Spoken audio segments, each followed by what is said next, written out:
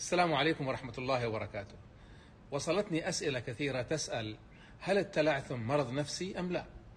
طبعا الجواب بكل وضوح طبعا لا.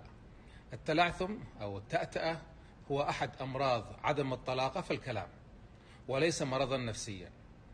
أسبابه صحيح غير معروفة وغير واضحة ولكن الأبحاث الحديثة تبينت لنا أنه يبدو أنه مرض عضوي. يعني هناك دور للوراثة وهناك بعض المشاكل في التوصيلات العصبية في الدماغ لبعض الحالات.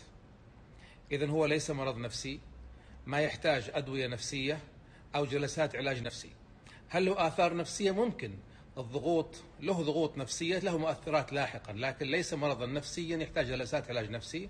هو مرض تخاطبي من أمراض التخاطب في الكلام يحتاج جلسات علاج مكثفة وإرشاد أسري أيضا مكثف للتعامل مع هذه الحالات وما تشوفون شر إن شاء الله.